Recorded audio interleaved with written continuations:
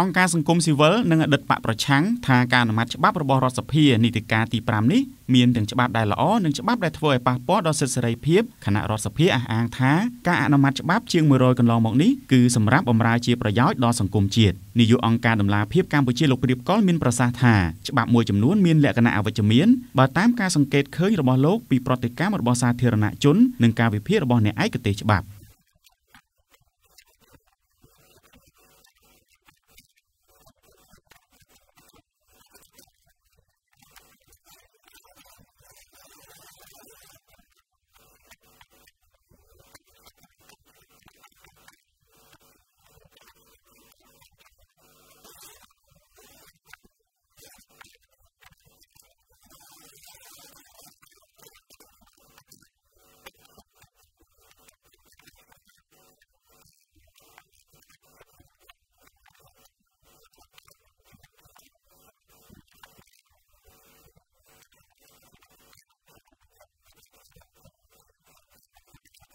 មន្ត្រីជាន់ខ្ពស់នៃកម្មវិធីផ្នែកអង្គការរបស់អង្គការ Confrere លោកកនសាវាងមានប្រសាសន៍ថាការអនុម័តច្បាប់ក្នុងអាណត្តិទី5នេះមួយភាគធំបម្រើផលប្រយោជន៍ប៉ុន្តែក៏មានច្បាប់ខ្លះមានភាពចម្រូងចម្រាសផងដែរជាពិសេសការធ្វើវិសោធនកម្មច្បាប់ទាក់ទងនឹងរឿងសង្គមស៊ីវិលការធ្វើវិសោធនកម្មច្បាប់ទាក់ទងជាមួយនឹងគណៈបញ្ញោបាយ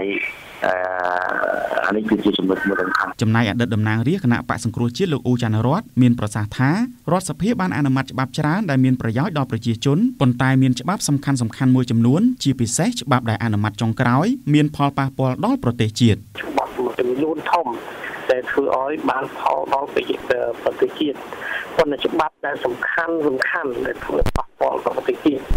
ឬជាច្បាប់គ្រឿង អង្គការក្រៅថាបោសហជីពហ្នឹងគឺធ្វើឲ្យប៉ះពាល់ហើយសេ រីភាពប៉ះពាល់ដល់អីចឹងទៅហើយច្បាប់រឿងគណៈបញ្ញោបាយក៏ចឹងដែរវាធ្វើឲ្យជាឲ្យច្បាប់នឹងអាចមានលទ្ធភាពរហូតដល់លីគណៈបច្ចុប្បន្នបាយចឹងទៅ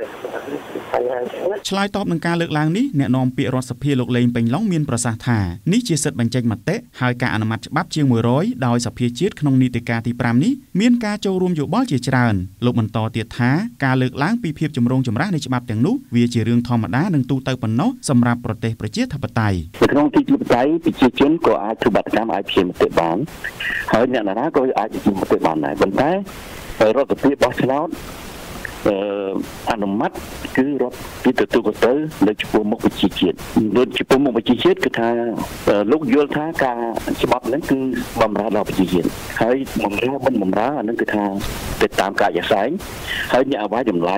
អ្នកដែលវិនិច្ឆ័យចុងក្រោយគឺប្រជាជនប្រជាជាតិនៅក្នុងការបោះឆ្នោតតាមប្រសិទ្ធិជាតិណាមយោងតាមការចុះផ្សាយរបស់ទីភ្នាក់ងារសារព័ត៌មាន AKP ចេញផ្សាយកាលពីថ្ងៃទី15ខែកក្កដាឆ្នាំ2018រដ្ឋសភាកម្ពុជាបានអនុម័តច្បាប់ចំនួន100 109ក្នុងរយៈពេល5ឆ្នាំនេះតាមប្រភពដដែលនៅក្នុងរយៈពេល5ឆ្នាំនេះរដ្ឋសភាបានបើកកិច្ចប្រជុំគណៈអចិន្ត្រៃយ៍ចំនួន97លើកប្រជុំពេញអង្គ65លើកនិងប្រជុំវិសាមញ្ញចំនួន11លើក